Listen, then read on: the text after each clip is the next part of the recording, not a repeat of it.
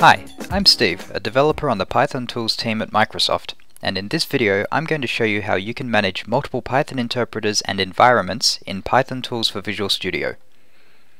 When you first install Python Tools for Visual Studio, the first window to look at is the interpreters list. You can open this with Control and K followed by backtick or through View, Other Windows, Python Interpreters. If you've used or installed Python before, this list may already have some items in it. If not, you'll see a link to our instructions on getting a Python interpreter. Let's go ahead and install some interpreters now. First, I'm installing Python 3.3.2, which is the latest available version of CPython. Next, I will install Python 2.7. Python 2.7 is a very stable version that's compatible with most third-party packages right now. And finally, I will install IronPython, which is based on the Microsoft.NET framework and allows you to directly interact with objects in the .NET world.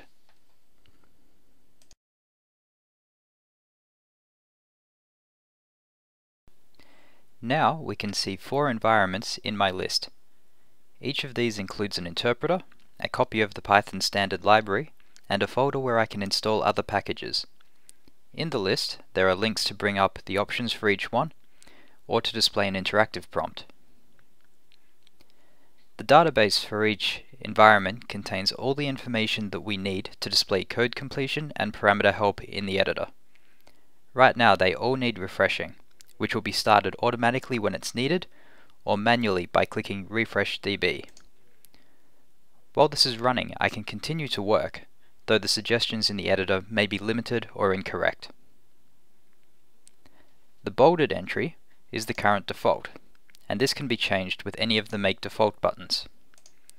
The default environment will be used for all new projects and any project that don't have another interpreter specified. So, let's create a new project.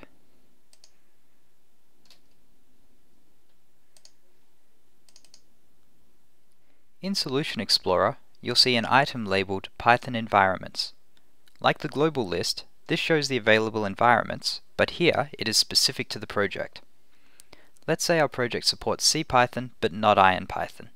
If we right-click on Project Environments and add Remove Python Interpreters, we can select the environments that our project supports. These will then be displayed in the list. We can see that one of the two entries is bolded, this is the active environment for this project, and the global default is now ignored. If I press start, the debugger will show that we are inside Python 2.7. To change the active interpreter, I can right-click the one I want and select Activate Interpreter. Now when I press Start, we can see that we are using the other one. When I save my project, the environments in this list are saved in the project file. I mentioned earlier that you can install packages into an environment, so let's look at that. There are many free Python packages available from the Python Package Index or PyPI.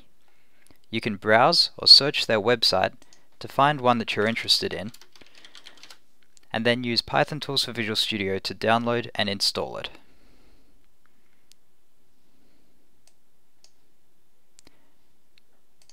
Right-click on an environment in your project and choose Install Python Package. In this dialog you can enter the name of a package and select whether to use the pip or easy install package manager to get it. You can normally leave this on pip, but if a package fails to install then it might work with easy install instead. When you click OK, we will download and install pip for you and before installing your package.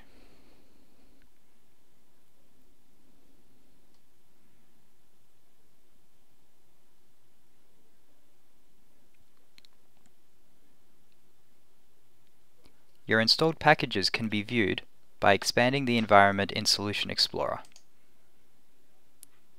You can also uninstall packages by right-clicking them and selecting Remove.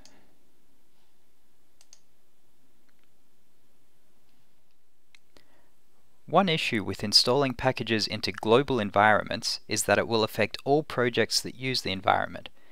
This becomes a real problem when you need two different versions of a package installed for two different projects. To avoid this issue, you can use a virtual environment. A virtual environment is a folder in your project directory that contains a set of packages that is isolated from other projects.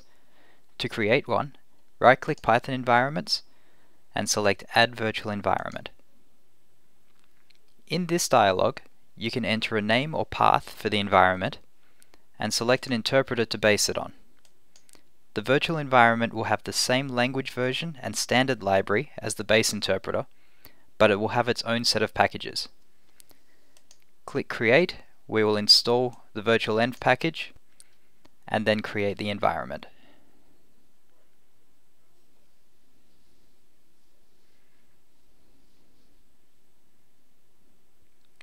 Once ready, the environment will appear in your project and can be activated and used like any other environment. I can install a package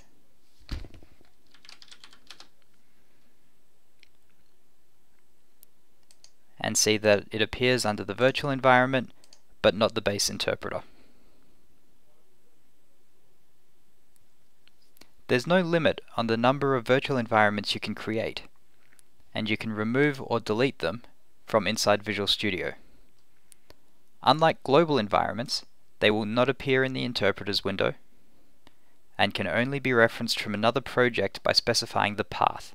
However, trying to use a virtual environment for multiple projects reintroduces the issue that it was supposed to solve, so you should generally make a new one for each project.